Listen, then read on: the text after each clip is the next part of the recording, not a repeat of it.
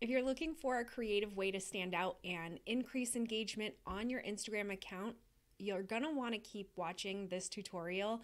We're going to talk about how to create a three part banner for the top of your Instagram feed, and I'm going to walk you through a full tutorial of how to get it done.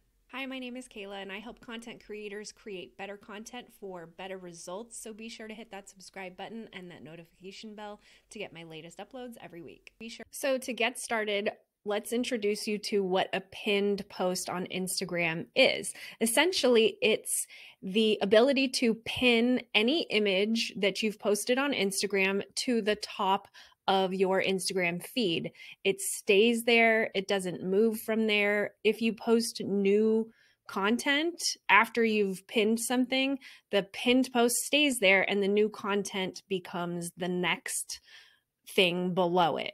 And so in this example, a pinned banner would be all three posts pinned to the top of your feed, but in a seamless look. So this is a graphic, an image, or something that you've created so that it looks like one larger image connected, even though it's three separate posts. So these are all posted separately on Instagram.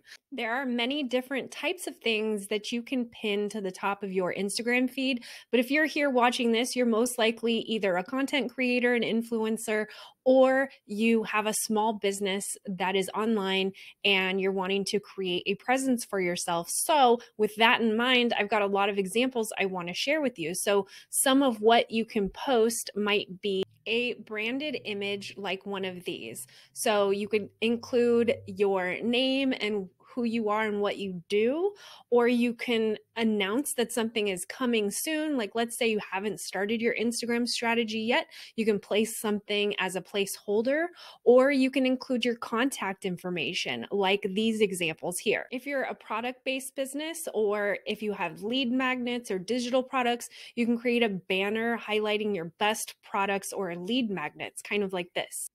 Now, speaking of digital products or having a business, there are many ways that you can show up in this banner to engage with your audience and create value for them in this banner. So, one could be the launching of a new product and highlighting that, or it could be your next live event, your next workshop.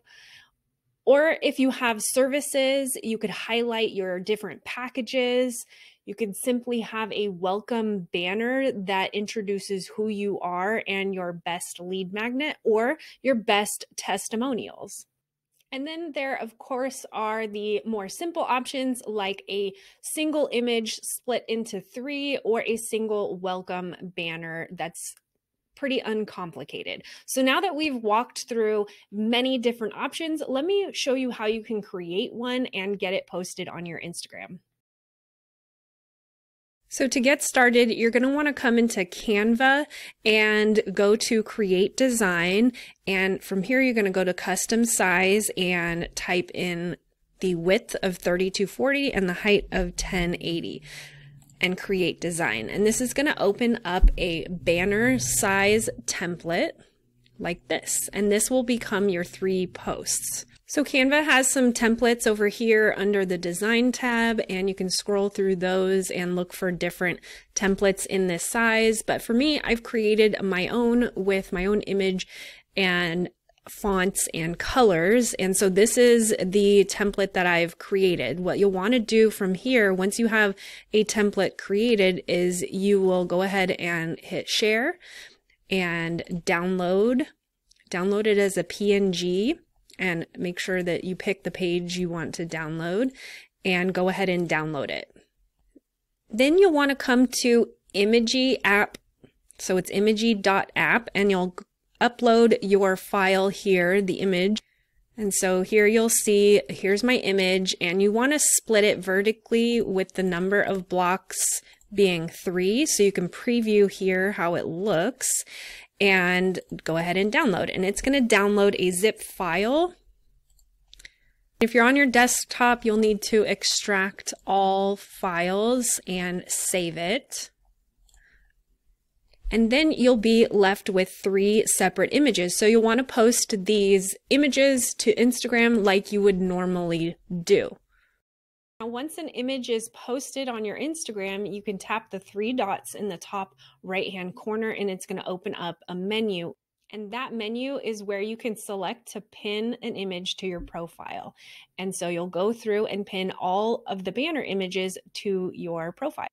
And from there, you should be left with a banner that looks like this. Now, it is important to pin your Instagram banner in order. So you'll want to pin the first image, then the second image, then the third image. Now that you've learned how to create an Instagram banner for your Instagram feed, you're probably ready to go on and move to the next step. But if you're ready to save time, I've got three templates for you free, and you can get a link to that right below this video.